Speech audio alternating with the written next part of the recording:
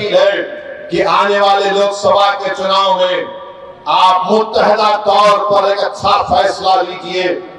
हम भी नहीं चाहते कि बिहार में बीजेपी और नीतीश कुमार के एमपी कामयाब हो जाए। हम तो शुरू से कोशिश कर रहे हैं रोकने की, मगर जो लोग आपका वोट लेकर मोदी के गोद में बैठकर चाय पीती है, कभी आप इनसे भी तो पूछो कि तुमने हमारा वोट लेकर तुमने कैसे बीजेपी को सत्ता दे दी बिहार में? मेरे अज़ीज़ दोस्तों और बुज़ुर्गों, आप देख रहे हैं कि कैसे, किस तरीके से कभी हमारी मसाजिद को निशाना बनाया जाता है।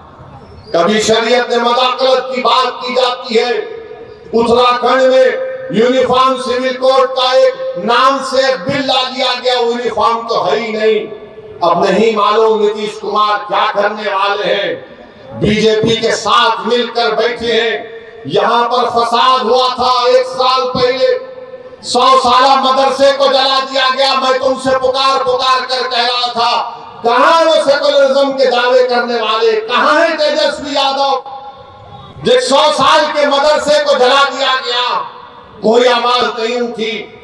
एक बारह साल के बच्चे को सीवान में ले पकड़कर उसको आठ दिन जेल में डाल दिया गया, किसी ने आवाज़ नहीं उठाई, मैं कह रहा था, पुकार रहा था। मेरे भाई, याद रखो, अगर तुम्हारे लिए कोई लड़ने वाला नहीं होगा तो जुल्म जारी रहेगा। हमारे वतन अज़ीज़ की हकीकत यही है कि जब तक तुम्हारी आवाज़ नहीं होगी, तुम्हारा कोई पुसाने हाल नहीं हो सकता है। जब तक तुम्हारा नेता नहीं होगा, कोई तुम्हारा काम नहीं कर सकेगा। बताइए इतनी बड़ी तादाद में। सर्वे हो गया। का सेंसस हुआ। जो अख्तर भाई ने मुझे यहाँ पर बताया कि इतना बड़ा सर्वे यहाँ पर हुआ सुरजापुरी बरादरी का। अख्तर भाई ने बताया कि सुरजापुरी बरादरी 24 लाख है और उनको नौकरी मिलनी चाहिए अड़तीस हज़ार के करीब। और उनको नौकरी मिली सिर्फ़ पंद्रह हज़ार तीन सौ पचास। क्या सुरजापुरी भाइयों ने कि फिर फैसला कर लेंगे कि तुम इनको वोट दोगे? सोचो आप, आपको मैं बुरा लगता हूँ, ना इनकी मेरी बात बुरी लगती है तो ये तो गवर्नमेंट कह रही है। ये मैंने अपने घर से बनाकर नहीं लाया हूँ। ये बिहार सरकार का डेटा आदादो शुमार है।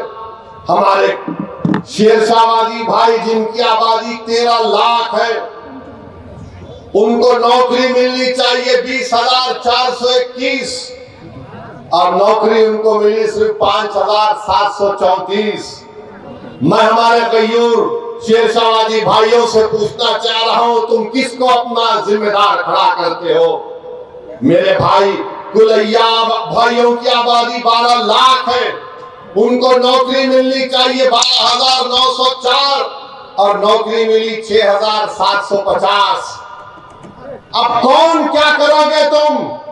ये जो दलाल फिरते हैं हमारी कौम के दलाल अरे दलालो अभी तो अपना मुँह काला करके घर में बैठ जाओ। बरसों से धोखा दिया गया है। बरसों से धोखा दिया गया, ये मैं नहीं कह रहा हूँ, बिहार सरकार कह रही है। सुरजापुरी बरादरी को नौकरी नहीं मिलेगी तो सेकुलरिज्म की कामयाबी है। शेरशाहबादी को नौकरी नहीं मिलेगी तो क्या मोदी को रोका जा रहा है?